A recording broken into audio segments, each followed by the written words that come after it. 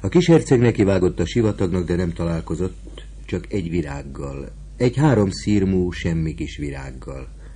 Jó napot, mondta a kis herceg. Jó napot, mondta a virág.